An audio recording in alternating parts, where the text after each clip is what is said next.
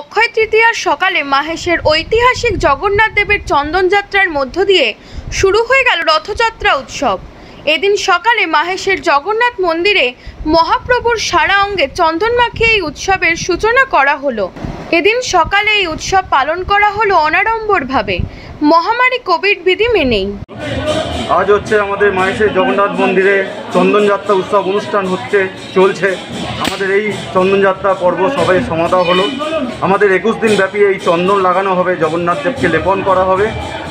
আজ হচ্ছে বৈশাখ মাসের শুক্লপক্ষের তৃতীয়া যে তিথি, সেটা অক্ষয় তৃতীয়া।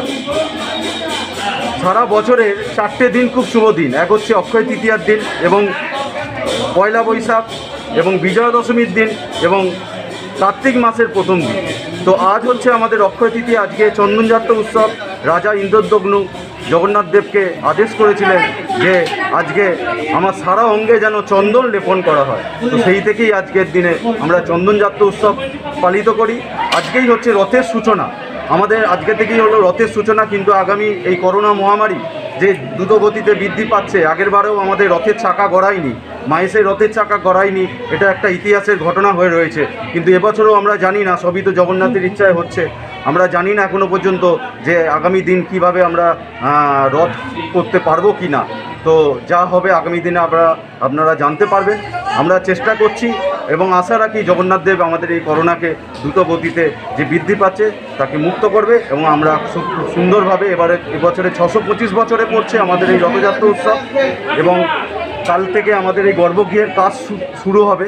তাই জন্য জগন্নাথ দেব বলভদ্রদেব এবং মা সুভদ্রাকে আমরা পাশের ঘরে অবস্থান করাবো কালকেই এবং যে পর্যটনের কাজ চলছে, তো তার জন্য আমরা জগন্নাথ দেবকে এই যে ঘরে আছে, এখন অবস্থান করছে গর্ভগৃহ, সেই গর্ভগৃহ কাজ শুরু হবার দরুন আমরা পাশের ঘরে কাল থেকেই অবস্থান করাবো এবং আমরা সরকারের কাছে আমরা আবেদন করছি যে এই দ্রুত গতিতে যে করোনা মহামারী আগের বারে যে রথের চাকা গড়ায়নি, কিন্তু আমরা জগন্নাথের জন্য, আমরা মানুষের স্বার্থে, জনকল্যাণের স্বার্থেই তো আগেবারে রথের চাকা বন্ধ করেছি, কিন্তু এবছরও জানি না কি হবে।